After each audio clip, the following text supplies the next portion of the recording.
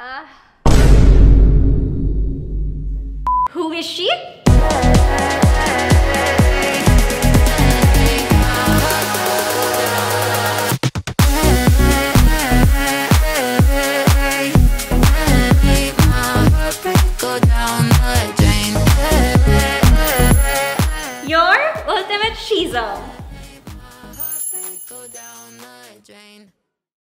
Hi, Shizams! Kamusta kayo? Kamusta ako? Today is August 14, one day past my due date. This morning, I'm experiencing cramps. Ang sakit, para siyang dysmenorrhea. Ah, ang sakit. We're tracking my um, contractions via this app. And so far, it's telling us to go to the hospital already.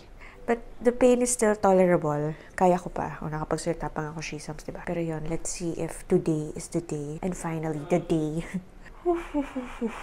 Hindi ako nakatulog masyado. I mean, from 5 a.m., idlip-idlip lang kasi nagigising ako sa sakit. So, hindi ko alam kung ito na yon But let's see, Shizams. Ligo muna ako para lang handa. Waiting lang kami sa go signal ni Doktora kung go na kami sa hospital. Pero kailangan pa ulit mag-insert ng 2 capsules of primrose oil. Ang awkward sesams na may pinapasok sa vagina na capsules. Pero ang tibay ng asawa ko. Hindi mo lang siya na o-awkwardan. Anyway, baltan ko kayo ulit later, sesams. Mag-aayos muna ako kasi baka today is the day. Feel ko uuwi din kami. Ikaw, tingin mo, Mariel. Ha? Tingin mo tuloy-tuloy na? Pag ano, pag umuwi kami, it's a prank. Sorry, it's a prank. We're going home. Better luck next time. A few moments later. Ayan, nasa hospital na ako. Ang daming nangyayari. Ang daming questions. Pero anyway, kapag IE na ako, unfortunately, 1 to 2 cm pa din. Pero yung contractions ko, masakit na at saka regular na. I don't know what's the plan, but uh, for now, the heart rate of the baby is normal and my contractions are going up to 85 to 85 and they said na yung pinakama pinakamasakit daw is 100 so yun wala pa naman ako sa point na yun ayan she's um hindi ko alam kung i-admit ako today pero strinip ulit yung cervix ko para mag-open pa anyway may fetal monitor ako dito Whew.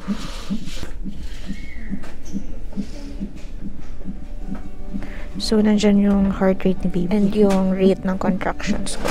Hi, Shizams. As of 3 p.m., andito pa din ako. So, nakamonitor pa rin sa fetal fetal movement and heartbeat ni baby. And yung contractions ko, umaabot na ng 90. Sakit. But sabi ng doctor, it happens daw every 6 minutes. Ang goal is every 3 minutes daw kailangan nagko-contract ako. Oh, kaya ko ba? Sakit-sakit. Ililipat na daw ako sa room. I-admit daw ako today. Laters ulit.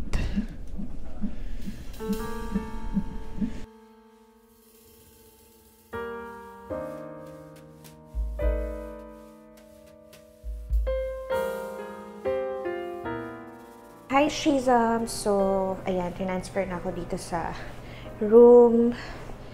So, ang advice sa amin ni doktora, maglakad-lakad daw ako. And kung kaya, mag-nipple stimulation daw kami ni Perry para mas mag uh, regulate pa yung contractions. It's 5, going 5 o'clock p.m. So far, so good. I'm okay. Kaya ko pang, kaya ko pang kumilos. Let's see kung ano sa mga. Ah! Uh, ah! Ah! Kinula. Ah! Contractions. Ah! Ah! Huh! Huh! Ah! Naiiyak ako, Shiza. Mas di ko na kung kaya ko. Natatakot ako.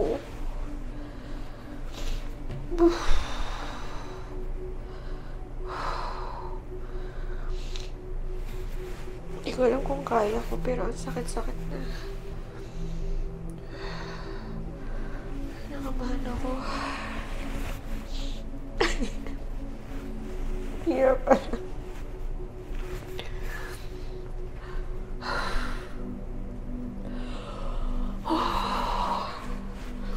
Sakit. Ito na ba yun? Wala pa. Wala pa man yun.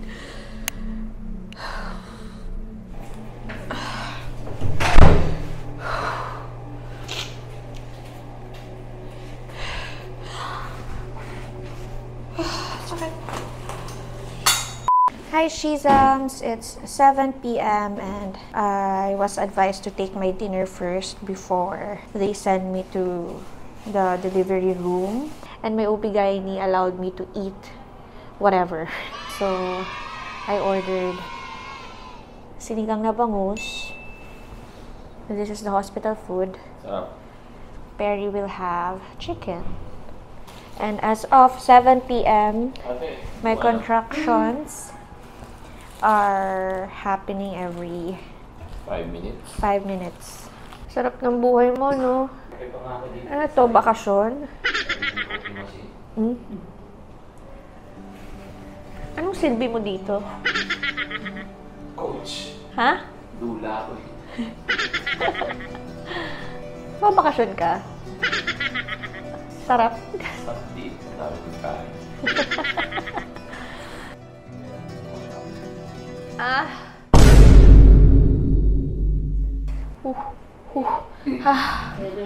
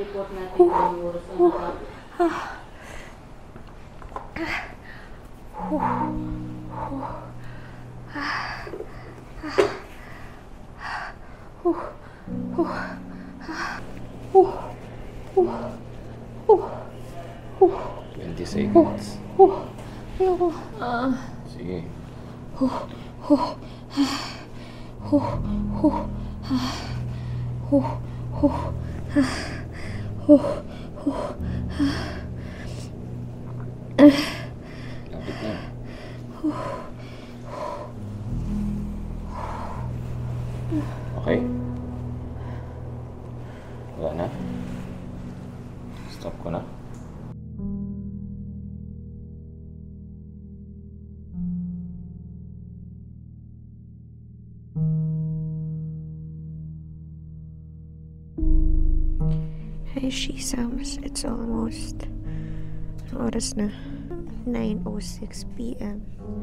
Nilipat ulit ako sa DR for fetal monitoring. Ayun, waiting na lang sa advice ni doktora. And i-check kung ilang CM na ako. Grabe ang sakit. Grabe. Hi, Shizams! Bumalik lang ako sa room. Kasi ayaw niya lumabas. 3 cm pa lang after ilang hours ng sobrang sakit na contractions. Anyway, it's almost 11, 10, 11.15. Yun lang. So, kailangan ko daw mag-rest. Bye-bye. See you tomorrow, 7 a.m. Hi, Shizams. Hindi ako makatulog. Every 5 minutes yung contractions. Kahit anong posisyon ang gawin ko. Sakit-sakit. Hirap. Hanggang 7 a.m. pa to. 1.30 a.m. pa lang.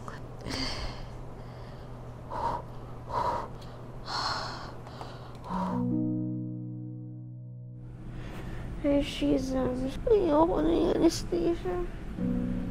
Para akong tinatahi sa likod. Anyway, asa ba tayo? Birthday room. Sa birthday room na kami. Ba't tayo dito? Para diretso na. Lilipat kami dito. So, 4 cm na ako. Tagal. Para akong binugbog. Charot. Narinig mo yung sigaw ko? Yung iyak ko, narinig mo? Kung na lang dito. 4 cm na gusto ko na mag-CS pero ayaw pa ni doktora. Hintay pa ulit na lumaki pa lumaki. Pero at least may anesthesia na. Nabawasan naman yung all fairness. Pero ang sakit yung anesthesia. Dito na ako makakarak, di ba? Ira-rupture? Bakit doktora ayaw niya mag-rupture naturally? Eh, may mga ganun na. Masakit yan? Gano'n naman kayo pag nakita niyo yung instrument kasi. Wow, wala. Clear.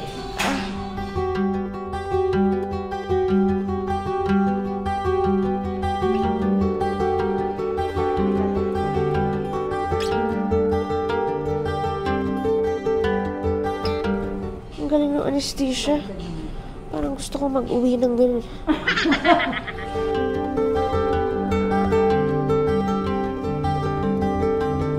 ah, may nararamdaman pa rin ako contractions. Pero wala sakit. Masakit. Pero hindi kasi sakit to.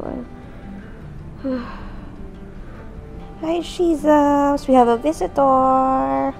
It's my brother! Doktor yan dito. Charot!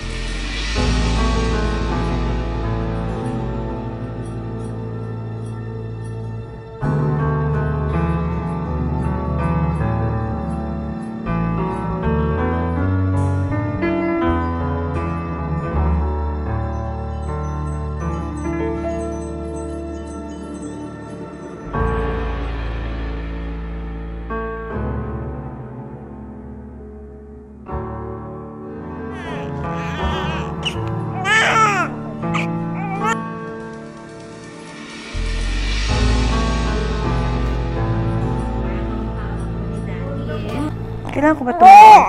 Hindi naman mo. Ano?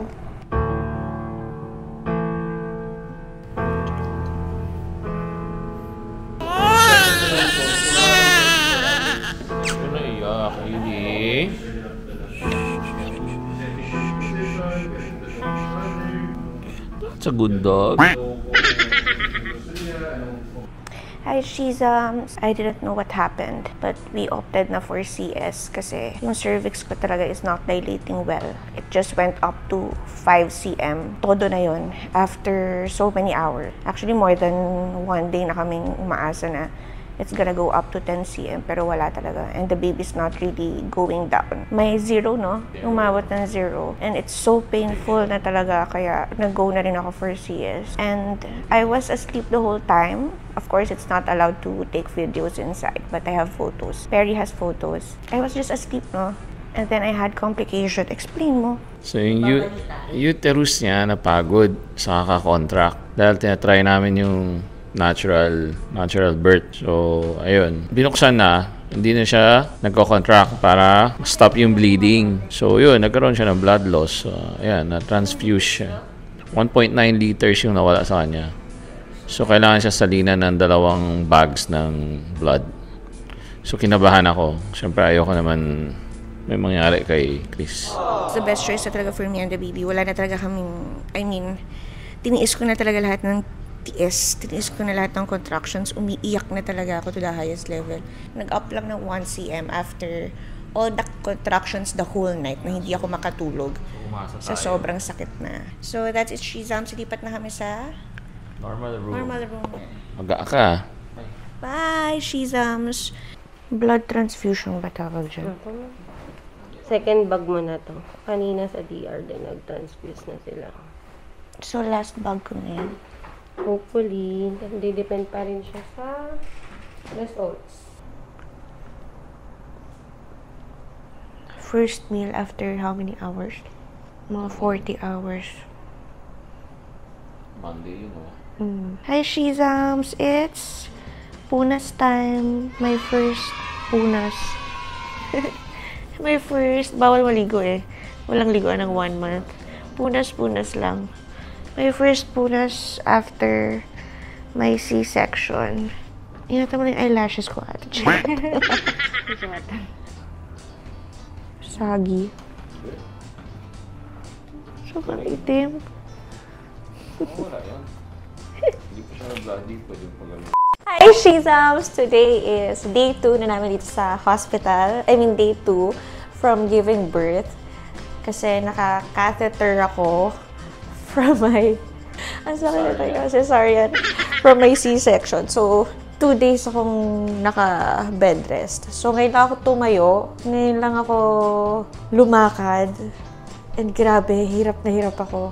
Nagulat ako. Kanina, iyak ako ng iyak kasi Hindi ko in-expect na ganun pala kasakit yung C-section. As in, parang hinati yung katawan ko. Parang hiniwala yung legs ko sa katawan ko ng biglaan. Parang chinap-chop ako bigla. Ko siguro na overwhelmed lang ako na sobrang, sobrang hirap. Saka may pagdadaan ka talagang recovery. Ramdam ko na. Pero ngayon, medyo stable na ako. Nakakalakad na ako ng maayos kumpara kanina. Kanina din, naging emotional ako kasi parang hindi ko alam if si baby, may nakukuha ba talaga siyang colostrum sa akin. Talagang ano lang, gusto nilang laruin yung nipples ko. Hindi ko alam kung may nakukuha siyang pagkain. Eh, syempre, ang goal ko, di ba, gusto ko lumaki siya. Saka, gusto ko may makuha talaga siyang gatas from me. Gusto ko talaga mag-breastfeed. So, na-frustrate ako kanina kasi parang dede siya ng dede sa boobs ko pero hindi ko alam kung may nakukuha siya. So anyway, yun yung mga ganaps ko this morning. Hindi ko na nakunan kasi sobrang overwhelming na yung feeling. So yan, ang mahirap sa C-section, pag tayo, unang tayo, ay, umiiyak na siya. Unang lakad, unang wiwi, ganyan. Pero kailangan mong sanayin yung sarili mo. Kailangan maglakad-lakad ka para mas madali yung recovery mo. Umiiyak.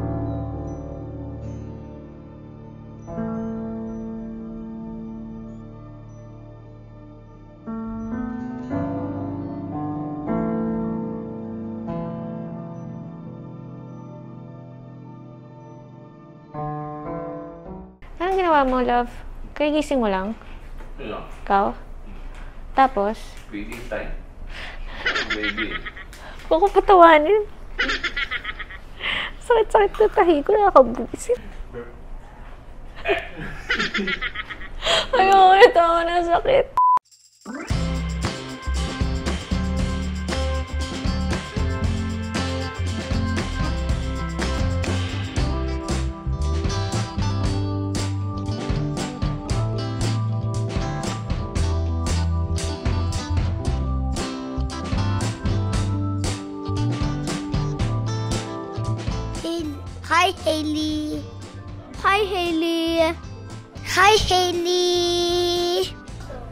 Hi, Hailey.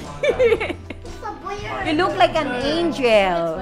And I'm so, you look like, and ano, I'm so elated that I have now a granddaughter, a beautiful granddaughter.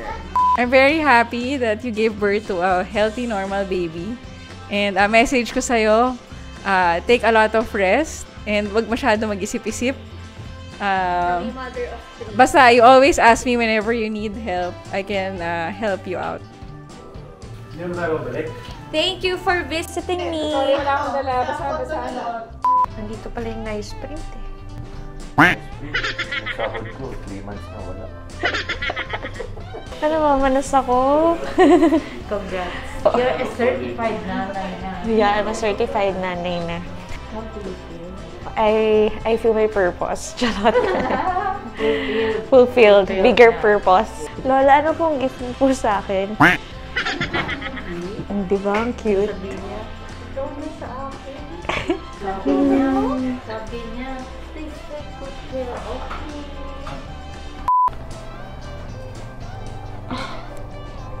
Oh, muna lang ako.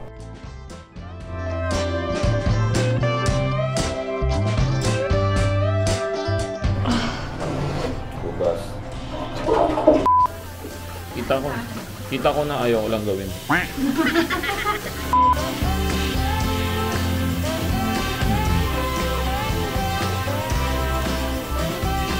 So, today is day 6. Mag one week na kami dito sa hospital. And so far, okay naman. Okay na ako. Um, nakapag-poop na ako shizam. So, ibig sabihin, pwede na, pwede na kaming umalis. Pwede na kaming umuwi. And uh, bumalik na rin kahit pa paano yung energy ko. Pero wala pa rin akong tulog kasi na nako-conscious ako parang every time iiyak si baby, ayan, hindi rin ako mapakali. Laging nagpe-breastfeed every 2 to 3 hours.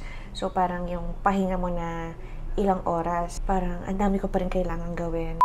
Na nag-work ako ngayon, nag-edit ako ng vlog. Na-realize ko, Shizams, hindi ako nakapag-upload this weekend kasi hindi ako makapag-edit. Aside sa mahinang internet dito, wala akong time to edit a vlog. Ang dami kong pending na vlogs bago bago ko i-announce or i-share sa inyo yung birth vlog na to. So, kailangan madaliin. Anyway, and yes, uh, dinelay ko talaga yung announcement ng arrival ni baby ng panganak ko kasi um, as much as possible, gusto ko ng quiet time with the baby. Kailangan ko ng time to recover. So anyway, ayan, ito na yung ano ko, postpartum outfit. This, uh, this is a nursing bra by Mama Way. So, mas madali mag-breastfeed kasi, yun, one clip down lang. Clip lang siya. And then this binder then is by Mama Way. Actually, ang dami nag-recommend ito sa akin. So, yun. So, mas nakakalakad na ako ngayon. Mas nakakakilos na ako. Breastfeeding time. Takaw nito? May isa pang matakaw. Pag feeding time ni baby, feeding time mo din.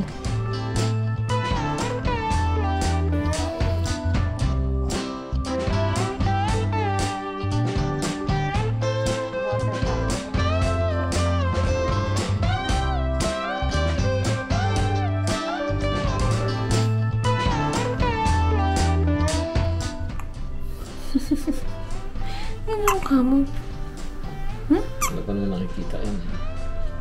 Blurred, blurred. you had your own contractions and it's coming every 2 to 3 minutes. Na strong on the day of your uh, delivery. Although when you came one day before you were already in active labor every 5 to 7 minutes. Na strong. But then the cervix is only dilated for about 2 to 3 centimeters. And then once you were at the birthing room you are contracting on your own. No augmentation required but then you were stuck at 5 centimeters dilated, maximum 6 centimeters. So I called for a stat cesarean section. And during the delivery, there was uterine atony. The, the uterus does not did not contract well, not well contracted. So I did all the necessary medications and do did direct massage massaging of the uterus. And successfully, I was able to subs to save your uterus. Good job, Doctor. Yeah, good job.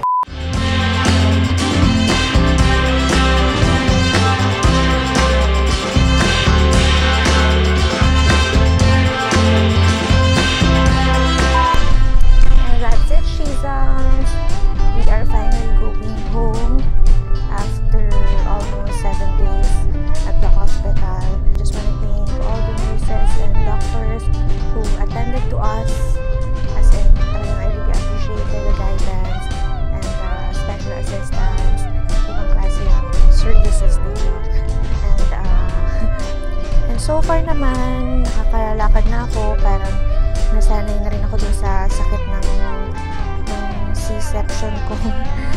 Tahe. Nakagalaw-galaw na ako. So, that's it, Shizam. Sana nag-enjoy kayo watching this birth vlog. Sorry, hindi masyadong detailed kasi minsan pagod lang talaga ako at saka uh, in-enjoy ko lang talaga yung first days ko with Hailey Luca. So, that's it, Shizams. See you on the next vlog.